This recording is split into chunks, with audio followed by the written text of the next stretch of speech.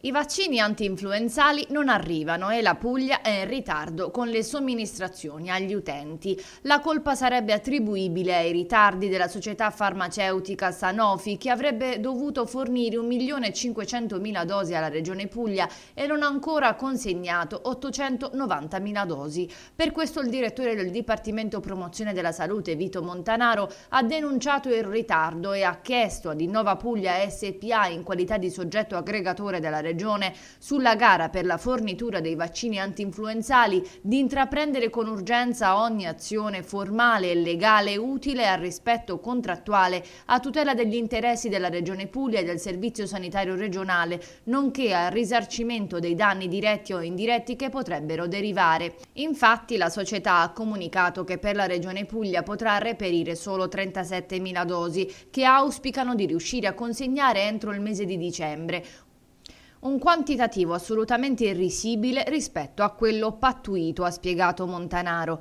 La Regione aveva chiesto un quantitativo di oltre 2 milioni di dosi per coprire il fabbisogno regionale che avrebbe consentito ad un pugliese su due di vaccinarsi, ma ad oggi solo un milione di dosi sono state consegnate e somministrate dai medici ai loro assistiti.